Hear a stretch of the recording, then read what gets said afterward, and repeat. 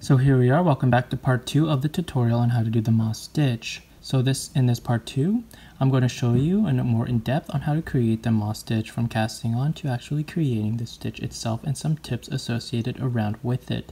So if you haven't already, please check out part one where I show you an in-depth video on the overview on how to understand the moss stitch because it's a very easy stitch. It's only done in four rows and once you understand how to do the moss stitch, you don't have to write it down, you don't have to remember it. It's very easy to just pick up and do anytime, anywhere, and wherever you left off in the pattern, okay? So please check out part one first if you haven't done so already.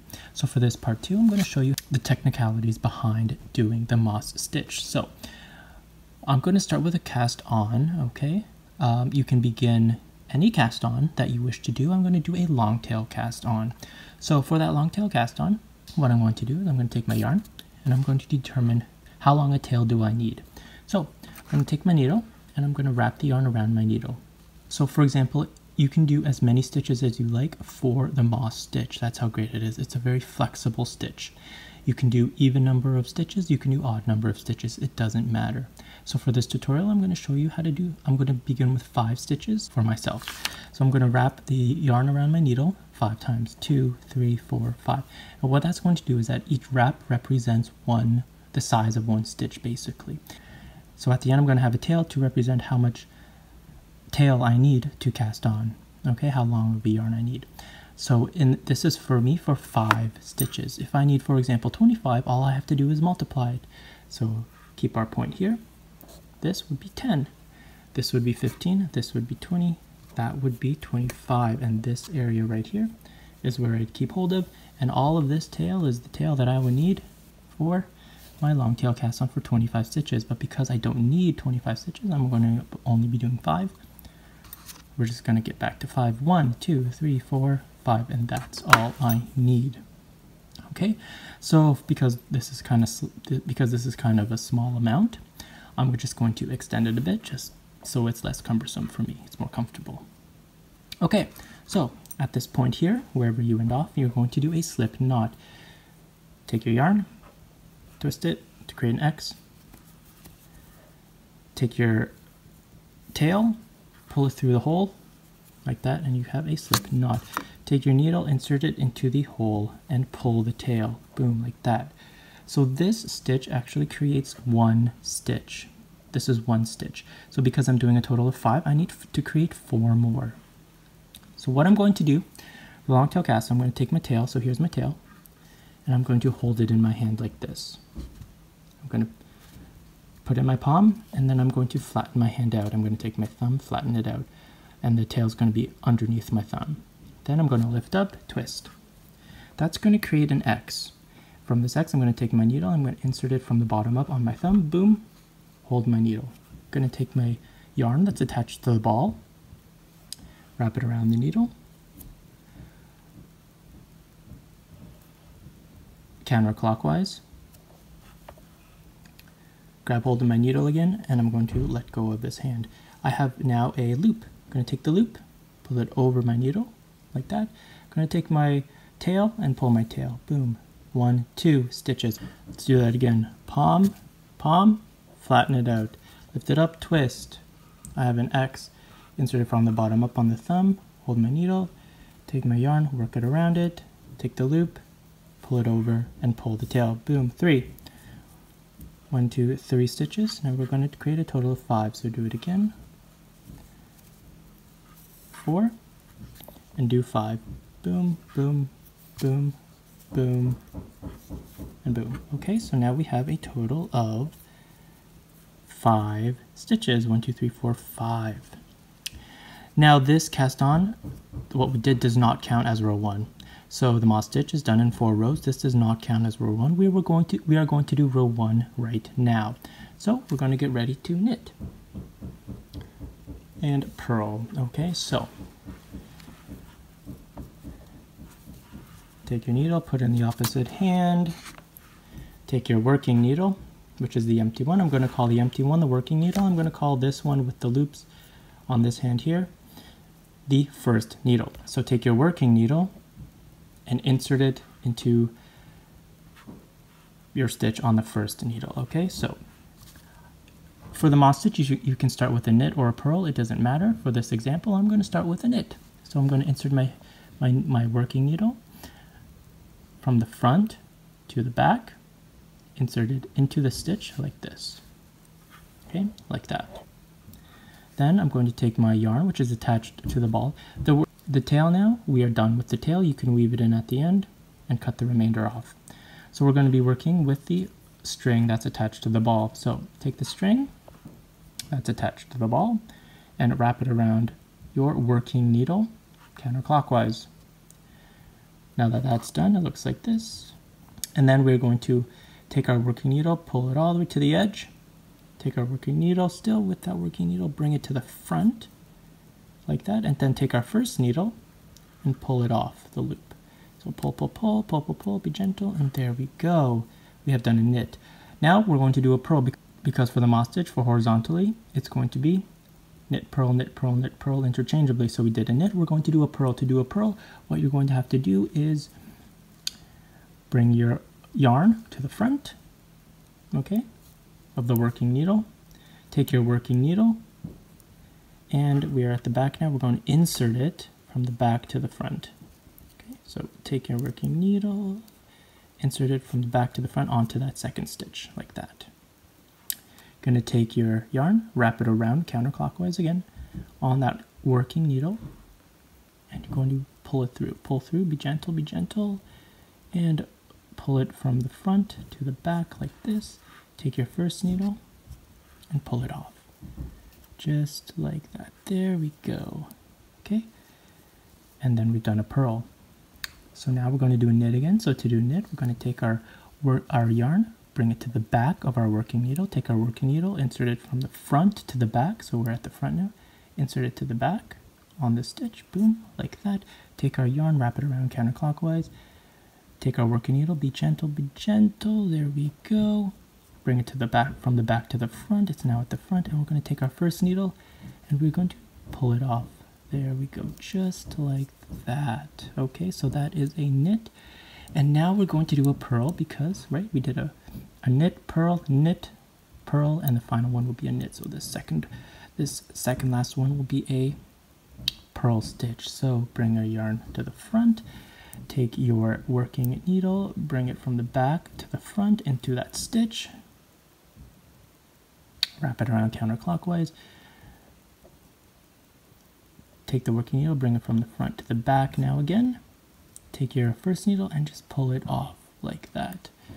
There we go, and that is a purl. And finally a knit, your yarn, bring it to the back, take your working needle, bring it to the front, we're going to insert it into the stitch from the front to the back, like that, boom. Wrap the yarn around it, insert, um, take your working needle, gently slide it back to the front, take your first needle and slide it off like that. Okay, so that is our first row. We have done a knit, a purl, a knit, a purl, and a knit, okay? So just to show you, how to determine a knit and a purl. It's kind of difficult on the first row, but you can kind of see it right here. We have a lump right here. That is a purl, and you kind of have a lump there, but over time, see, it, it, it'll look like that. That is not a lump. That's more like a, a V, right? The typical knit V. That V is a knit. This lump is a purl, right? So we've got purl, knit, purl, knit, and the first one is a knit. So when you're doing the moss stitch, the first stitch and the last stitch, you'll notice it can become kind, it can become kind of confusing to determine if you're working on a currently on a knit or a purl. So it's always good to look at the second stitch to determine what the first one is because remember horizontally it is knit purl knit purl knit purl. If you have a purl then your first one is a knit. If you have a purl, your next one is a knit. If you have a knit, your previous one is a purl. If you have a knit, your next one is a purl as well, right? Knit, purl, knit, purl, knit, purl. So that's how to determine what the first stitch is if it can be hard to identify. Okay, so we're done row one. So for row two, we're going to turn the work over and begin row two. Okay.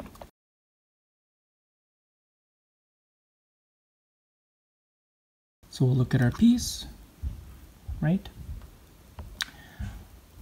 We ended up, so for the stitch, you do not have to remember what you did in the, in the previous row.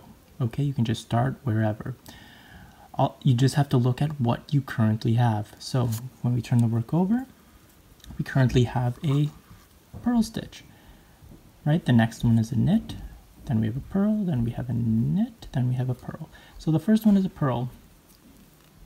What does that mean? Because the pattern is vertically now, we're working vertically. The pattern now is, because the pattern is two knits, two purls, two knits, two purls, we know that we're going to have to create two of each kind. So because we have one purl, we're going to have to create another purl, right? Or if you have a knit, you're going to have to create another knit, right? So because we have a purl, we have to create another purl, so we're going to do a purl. Insert your, insert your needle from, so take your working yarn, bring it to the front, insert your needle from the back from the to, uh, from the bottom up on the front.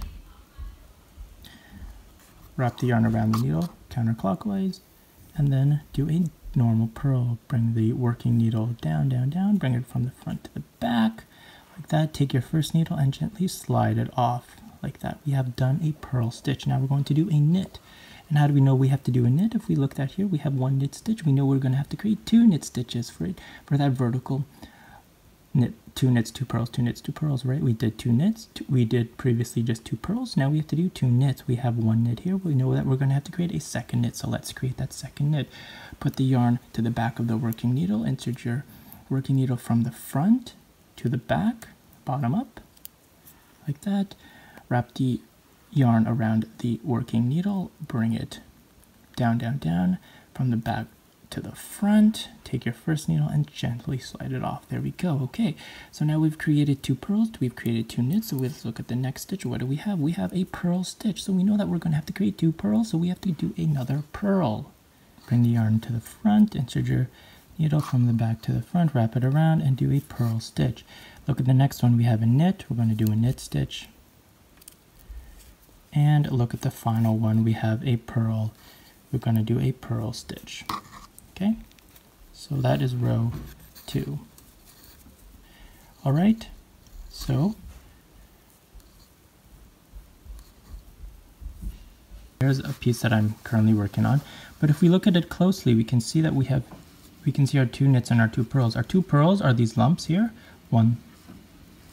Our two purls are these lumps here. We've got one lump, two lump, and we have our knits. Our knits are these V's, one V, two V's, two purls, two knits, two purls, two knits, two purls, two knits. So that's how you determine if you have two purls or two knits and which stitch you're currently working on, okay? So Let's look at row three. So we turned our work around and we are beginning row three. So for row three, as I said before, for the moss stitch, you don't have to count your rows. You don't have to determine which row you're on. You just have to look at what stitch you currently have, okay? So what stitch do we currently have? We have a knit. We have two purls. We have two knits. We have two purls. We have two knits.